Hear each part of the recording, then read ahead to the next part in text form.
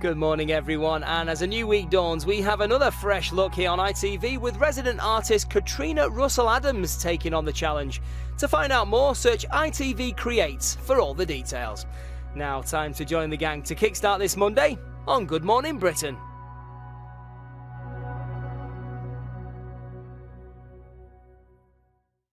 Davina's back on ITV with a brand new series of this time next year, and she's kicking off with a weight loss special tomorrow night at 8.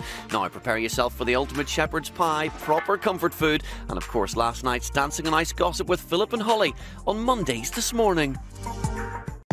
Corrie fans love Monday night on ITV because we're in Weatherfield at 7.30 and 8.30. Paul shocks Gemma when he shows his true colours in the first ep tonight. Now, after her exit from last night's Dancing on Ice, Saira Khan is back on the panel with her sisters, the Mighty Loose Women.